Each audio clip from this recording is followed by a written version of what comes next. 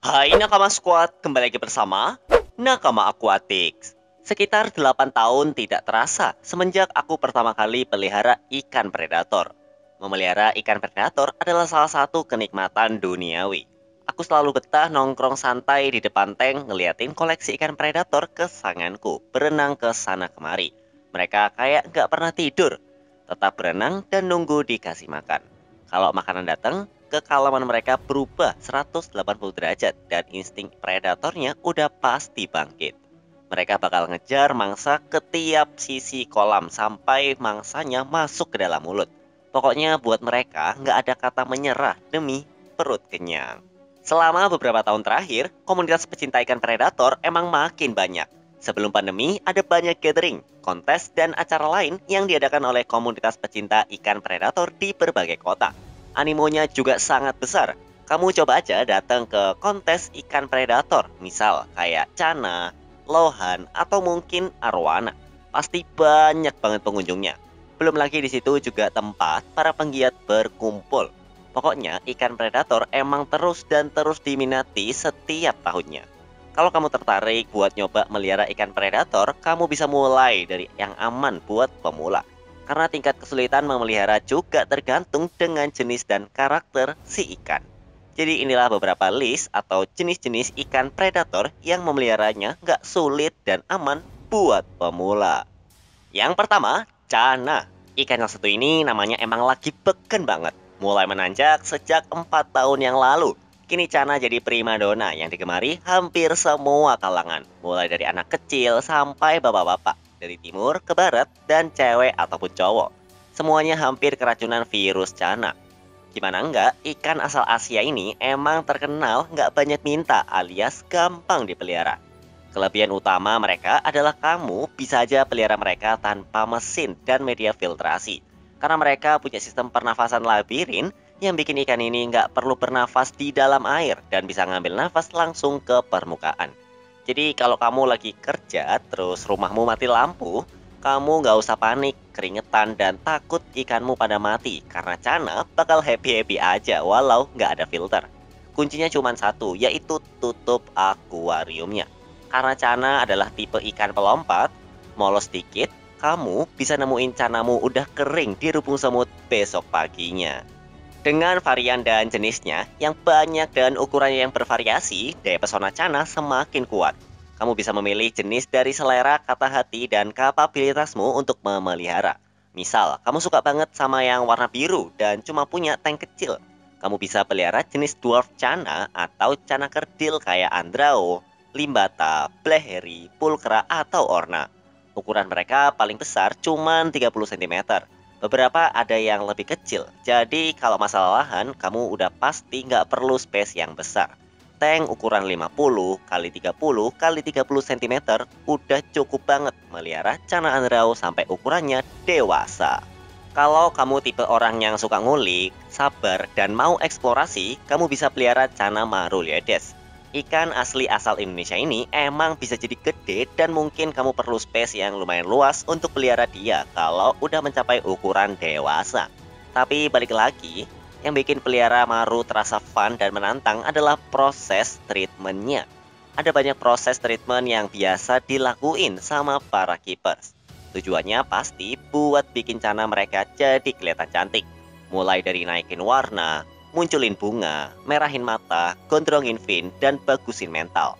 Treatment tersebut bisa bikin canak kesayanganmu jadi jawara kontes. Kalau bisa juara kontes, harganya pasti naik kan? Terakhir, kalau kamu punya budget lebih atau berminat buat jual motor demi beli ikan, ya beli Cana Barca. Rajanya Cana ini udah termasuk langka di Indonesia karena hampir setahun ini udah nggak diimpor dari India. Kira-kira kenapa ya? Mungkin karena keberadaan mereka di hutan lindung yang bikin akses dan unsur legalitas pasti membuat banyak orang sulit untuk ngambilin mereka. Yang kedua, aligator. Dari cara pelihara dan tingkat kesulitannya, ikan aligator sama sekali bukan ikan yang ribet. Karakter mereka di dalam tank juga cukup kalem karena mereka bukan ikan senggol bacok yang disentil dikit langsung mereh-mereh kayak canak. Aligator mah santai aja, asal daerah kekuasaannya atau biasanya juga di permukaan itu kosong dan gak ada pesaing. Menurut pengalamanku, ikan aligator malah sering dijadiin bahan bulian para komtengnya. Komteng adalah metode pelihara ikan secara berkoloni dengan jenis yang berbeda. Karena ikan ini emang rada kalem. Jeremy Wade dari River Monster pernah ngelakuin eksperimen dengan berenang bareng mereka. Ikan yang ditemuin sama Om Jeremy ukurannya sekitar 2 sampai 2,5 meter. Dan setiap Jeremy mendekat, ikan-ikan ini yang walau ukurannya segede gaban tapi memilih untuk kabur Padahal kalau mereka mau, dan seperti ngelawan atau mungkin nyerang, bisa-bisa aja dan bahkan hidup Om Jeremy bisa terancam. Aligator juga bisa dipelihara tanpa filtrasi, meski memang kurang direkomendasikan sih. Mereka punya ketahanan tubuh yang kuat, dipelihara dalam kubangan air dengan kadar oksigen tipis, dan air yang berlumut juga bisa. Mereka gak pernah pilih-pilih tempat tinggal, asal ukurannya luas. Nah, itu juga yang kayaknya emang udah jadi bahaya laten di mana banyak orang yang pelihara ikan aligator keheranan karena ikan ini pertumbuhannya cepet banget. Gak jarang dalam satu tahun badan mereka udah mencapai 1 meter. Jadi emang pelihara aligator gampang banget, tapi kamu juga mesti backup plan-nya pas ikannya bertambah besar. Mau upgrade tank, kasih temen, atau kasih pihak berwajib. Jangan sampai kamu buang ikannya di sungai, kali, waduk, atau danau besar yang udah punya ekosistem sendiri. Karena eksistensi ikan ini di wilayah lokal bisa mengancam kiprah para ikan warga lokal. Yang ketiga, palmas. Bentuknya mirip naga ya, badannya memanjang, siripnya seakan kayak duri. Mereka juga jarang berenang dan lebih banyak jalan di dasar tank. Makanya di Indonesia ini ikan dikenal dengan nama ikan naga.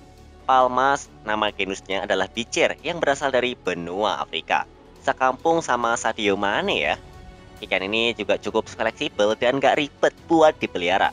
Karena sama kayak cana dan aligator, kamu bisa pelihara palmas tanpa filtrasi. Karena kehidupan alam di Afrika yang keras banget membuat palmas bisa beradaptasi dengan baik dan punya kemampuan menakjubkan untuk tetap hidup mereka bisa mengambil nafas segar ke permukaan dan lanjut berenang ke dasar tank.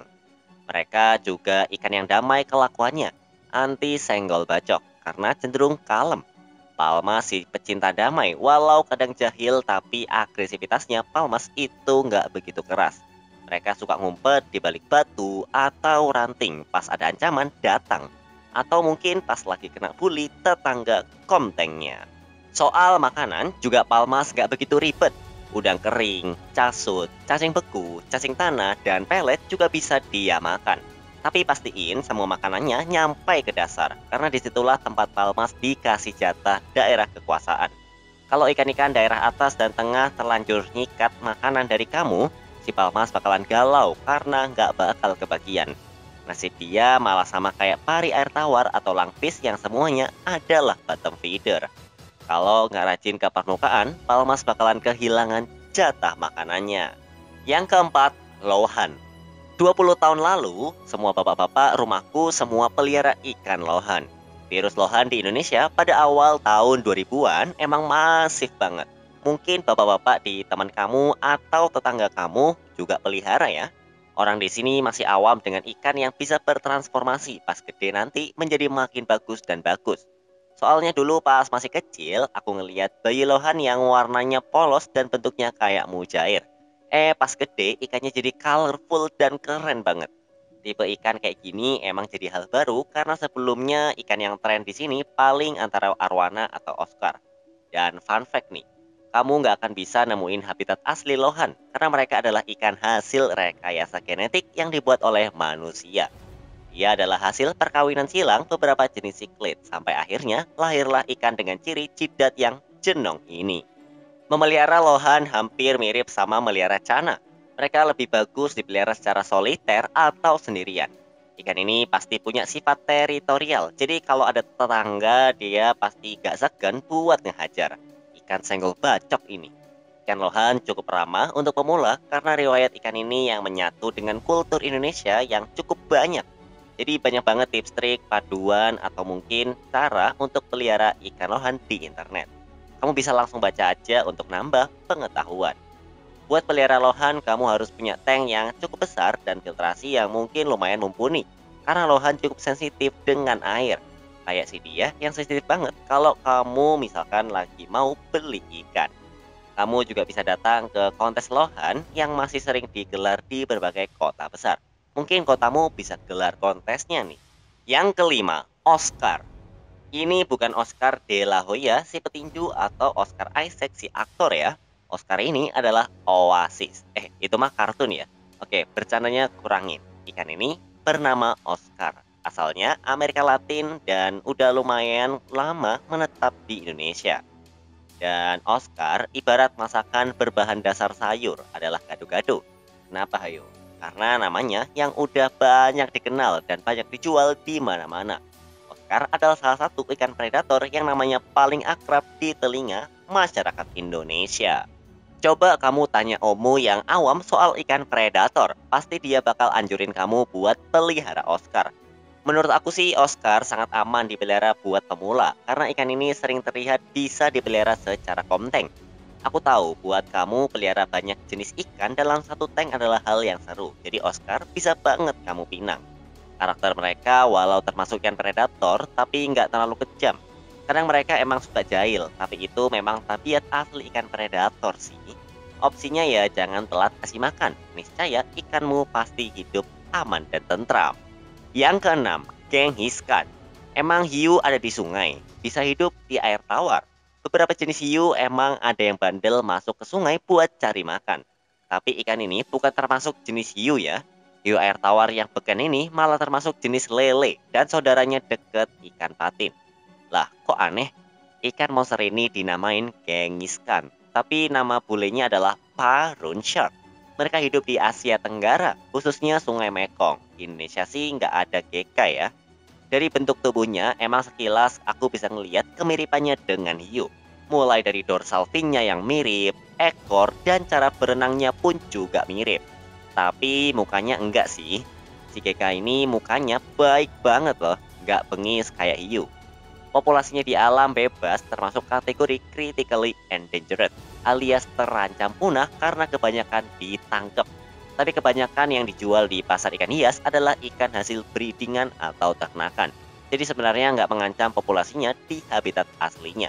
Kalau ditangkap otomatis untuk dikonsumsi kan ya. Geka adalah ikan penghuni wilayah tengah dan atas. Dia cukup aktif berenang ke sana kemari, mirip hiu. Jarang banget aku lihat ada GK yang mager dan nggak energik. Ikan ini emang rajin banget berenangnya, karena mereka termasuk jenis lele. Jadi cara makannya ya main comot aja, nggak pakai digigit atau dipotong. Mangsanya langsung dilahap masuk ke mulut. Dulu aku pernah pelihara GK dan karakter dia cukup jahil sih. Walau masalah air si GK ini nggak rewel, asal kamu punya filtrasi yang layak, dia bisa hidup dengan tenang. Yang ketujuh, Peacock Bass. Aku ingat sebutan pibes itu adalah salah satu jenis varian dari bass gitar. Eh, ternyata ada juga ikan yang namanya pibes. Mereka datang dari Amerika Selatan. Tapi ada beberapa yang imigrasi ke Amerika Serikat yang emang sengaja dikenalin ke lingkungan alam sekitar. Karena di sana ada saudaranya, si largemouth bass. Pelihara ibas emang seru banget. Jenis mereka lumayan banyak. Ada mono, Azul, Singu, Brokopondo, Intermedia, Orinoco, dan lain-lain. Semua jenis ini punya ciri khas masing-masing. Dan serunya, kamu bisa pelihara mereka dalam satu tank secara berbarengan. Jadi keren banget kan, kamu bisa punya koleksi pibes dalam satu tank. Gak perlu beli tank banyak, cukup beli yang lebar saja. Warnanya yang menarik pasti jadi visual yang cantik yang bikin kamu bakal betah duduk untuk berlama-lama santuy dan ngeliatin koleksi ikanmu. Mereka juga bukan ikan yang mageran. Kalau di akuarium sih mereka adalah penguasa daerah tengah. Jarang banget aku nemu pibas yang bengong aja di dasar akuarium, kecuali kalau dia lagi stres ya. Kalau lagi aman sentosa, jaya bahari, warteg kali ya, mereka nggak akan mager di area bawah. Bibas adalah ikan yang rakus. Pas dikasih makan, mereka pasti auto aktif dan ngejar mangsa ke hampir seluruh sudut tank. Mereka biasa dikasih pakan hidup kayak feeder fish atau udang. Cuma kalau feeder fish sih jangan sering kamu kasih ya karena mengandung parasit yang bahaya bibasmu. Tapi ngelihat mereka mukbang rame-rame emang sebuah hiburan sih. Menurutmu mending kasih makan pelet atau mungkin pakan hidup ya? Yang kedelapan, red tail catfish. Dulu banyak banget orang yang nyepelein ikan ini karena ya ikan lele. Sama kayak Cana sekarang yang kena sentimen ikan konsumsi kok dipelihara. RTC juga dulu punya nasib yang sama, ditambah lele punya image yang lebih dekat dengan ikan konsumsi. Soalnya hampir di sepanjang jalan raya dekat rumahmu, pasti kamu bisa nemuin tukang pecel lele kan? Makanya dulu pas pelihara ikan RTC, banyak banget temanku yang ngenyek kenapa pelihara ikan lele. Padahal daya tarik ikan ini tuh banyak banget. RTC sekarang udah dijual dari ukuran bayi, imut, dan lucu, sekitar 5-7 cm. Bentuknya emang mengemaskan banget, tapi jangan sangka sama kayak aligator ya. Mereka ini pertumbuhannya cepet banget. Setahun aja mereka bisa pelihara sampai ukurannya 40 hingga 50 cm. Kalau suplai makanannya teratur, emang cara peliharanya memang tercenderung mudah sih. Kamu cuma perlu akuarium dan filtrasi biasa saja. Ikan ini emang peka amonia. Kalau dia ngerasa kandungan amonia di dalam akuarium tinggi, dia bakal mabok dan parahnya bisa mati. Tapi selama tankmu bersih, hidupnya bakal aman. Yang bikin bom amonia di tank predator adalah sisa makanan Soalnya RTC adalah ikan yang sangat rakus. Walau mukanya imut dan polos, tapi mereka ini emang beneran nggak pernah berhenti makan. Sebanyak apa pun pakan yang kamu kasih ke tank, dia pasti bakal sikat semuanya. Tapi itulah biang keladi dari bom amonia. Karena kalau perutnya kepenuhan, nih ikan suka muntah. Muntahan ini yang bikin kadar amonia di akuarium jadi tinggi. Akhirnya kelakuan dia ini bisa bikin hidup ikan tetangganya terancam pelihara RTC emang gempil. Cuma siapin upgrade tank sama jangan kasih makan terlalu banyak. Yang kesembilan, langfish. Kalau kamu pelihara ikan ini, kamu bisa masuk kategori keepers ikan predator eksotis karena nih ikan masih jarang banget dipelihara sama orang. Walau jarang dipelihara, tapi ikan ini cocok banget buat pemula karena karakter yang kalem dan sifatnya yang sangat bandel. Bandel, kuat, dan tahan lama. Kayak iklan motor ya. Langfish tersebar di beberapa benua di dunia, Afrika, Amerika Selatan, dan Australia. Kita di Asia nggak punya jenis langfish. Bentuknya juga walau masih sama, tapi ada perbedaan. Langfish asal Australia bentuknya imut banget karena mukanya polos. Bentuk badannya rada mirip kecepong dengan sirip dayung. Kalau yang di Afrika dan Amerika Selatan bentuknya kayak belut dan nggak punya sirip dayung. Langfish asal dua benua itu punya sirip yang bentuknya mirip sungut. Aneh banget kan? Kayak namanya, ini ikan punya kemampuan bernafas yang overpower banget alias OP. Kalau misal ada lomba adu ketahanan nafas yang ada di luar air antar ikan sedunia, pasti langfish lah yang menang. Mereka punya alat pernafasan berbentuk paru-paru yang bikin ikan ini bisa santai aja kalau misal berada di luar air. Malahan pasti air Afrika mengering dan banyak ikan terpaksa kehilangan nyawanya karena nggak bisa survive, langfish punya cara lain demi bisa tahan hidup di masa sulit. Mereka biasanya masuk ke dalam tanah dan berhibernasi selama bertahun-tahun, sampai hujan kembali mengguyur bumi Afrika. Terlamanya sih mereka bisa bertahan dalam hibernasi selama tiga tahun lebih. Kamu nggak perlu pakai filter kalau pelihara dia, meskipun memang tetap disarankan sih. Karena ikan ini sama kayak cana, mereka sering ngambil nafas ke permukaan alias mereka nggak perlu air dengan kadar oksigen yang tinggi. Karena suplai oksigen yang mereka hidup adalah di luar air, sama kayak kita atau mamalia air kayak paus dan lumba-lumba. Yang ke-10 alias terakhir adalah Indotarpon atau bulan-bulan. Kalau kamu pengen punya ikan yang bentuknya kayak ikan laut, Indotarpon bisa jadi pilihan Ikan ini juga punya nama lain yang imut banget, yaitu bulan-bulan. Kayak terlalu imut dan buat seekor ikan predator pemburu yang punya kecepatan kilat dalam mencari mangsa. Bulan-bulan bentuknya rada mirip bandeng. Badannya pipi berwarna silver yang bikin ikan ini bisa bergerak secepat kilat di dalam air. Bulan-bulan punya dua habitat. Ada yang di laut dan ada yang di sungai. Kalau yang di laut ukurannya bisa nyampe 1 meter, sedangkan di sungai cuman setengahnya. Wah, perbedaannya jauh banget ya. Mereka juga rajin imigrasi dari laut ke sungai. Ikan ini terpantau bisa bertahan dalam air yang ber-pH rendah. Jadi pelihara mereka juga nggak sulit, cocok buat pemula. Tapi ya tetap jangan sepelein mereka ya, karena sebenarnya mesin filter itu tetap perlu. Biar kamu juga nggak repot juga untuk ganti-ganti air melulu. Nah, jadi itu dia 10 ikan predator yang aman banget buat dipelihara oleh kamu yang masih pemula. Ikan-ikan tersebut walau dibilang gampang dipelihara, tapi tetap harus kamu sayang dengan penuh cinta dan perhatian ya. Jangan sampai karena image-nya yang mudah dipelihara, kamu jadi nyepelein nasib mereka dan seakan bodoh amat. Ikan yang kamu beli harus kamu sayang setulus mungkin, biar kehidupan mereka terjamin dan pastinya mereka bakalan happy. Nah, kalau kamu jadi pilih yang mana nih? Coba tulis di kolom komentar ya. Sampai jumpa di video-video nakama akuatik selanjutnya. Dah.